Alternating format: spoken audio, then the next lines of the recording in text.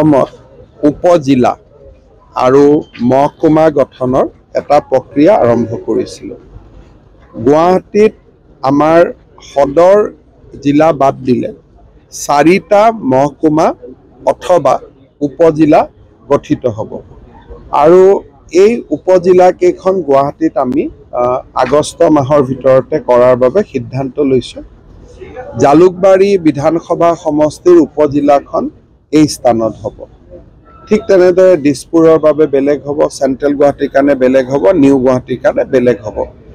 এই গোটেইখিনি আমি সোনকালে কৰিব খুজিছোঁ আৰু ঠিক তেনেদৰে অসমতো আমাৰ বিভিন্ন সমষ্টি অনুপাতে উপজিলাসমূহ গঠন হ'ব। এই বছৰৰ ভিতৰতে আমি গোটেই উপজিলাবিলাক ফাংচনিং কৰাৰ বাবে প্ৰচেষ্টা ল'ম। উপজিলাবিলাক গঠন কৰোঁতে অসুবিধা হ'ব সুবিধা হ'ব এইখিনি প্ৰথম পৰ্যায়ত আমি কামৰূপ মহানগৰ জিলাত অলপ প্ৰেক্টিচ কৰি চাব খুজিছোঁ যাতে যিখিনি কিবা অসুবিধা থাকিলেও যাতে আমি পিছত পূৰ কৰিব পাৰোঁ।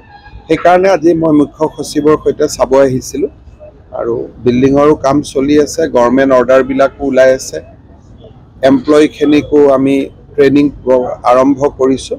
গতিকে আগষ্ট মাহৰ ভিতৰত আমাৰ গুৱাহাটীত চাৰিখন অতিৰিক্ত উপজিলা অথবা মহকুমা আমি পাম।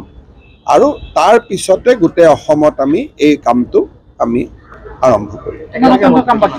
পৰ্যায়ক্ৰমে হ'ব। একেলগে সকলো বিল্ডিংটো ৰেডি হৈ নাযায়। গতিকে কোনোবা জেগাত পি ডাব্লিউ ডি আই বিটো ল'ব লাগিব। কোনোবা জেগাত কোনোবা বিল্ডিং কম আধা কমপ্লিট হৈ আছে তাক পূৰা কৰিব লাগিব।